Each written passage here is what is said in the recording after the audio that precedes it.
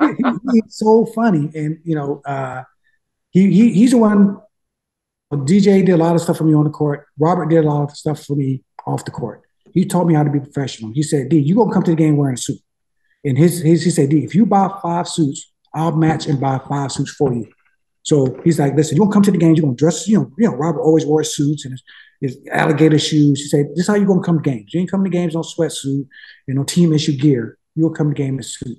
Um, so he was very good at me of understanding how how how to present myself off the court, how to be professional, how to talk to people, how to go to a business meeting. Um, but you know, you talk about a guy like the face on the you know the chief, and but he laughed.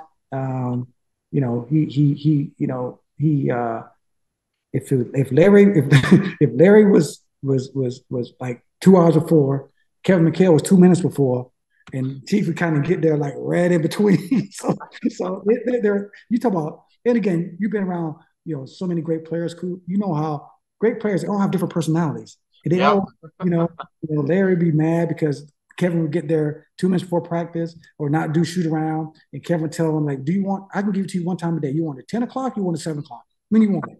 You know." Chief, and Chief like, "Both of y'all need to shut the hell up." and so Chief like the mediator.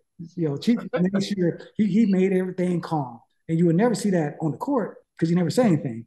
But in the locker room, on the plane, you know, uh, practice, he's always a guy like kind of kept them two from knocking each other out. Doing yeah, that's that's under discussed. People don't yeah. talk about that. McHale and Bird used to do this a little yeah, all the time. And Chief was a guy that kind of was a guy, like I said, he was Ed man. He was a guy that, you know, like, you know, oh, that's funny, you know what, you know what, and they respected him. You know, they respected Chief. And that was the best thing that because he went about his business, he's professional,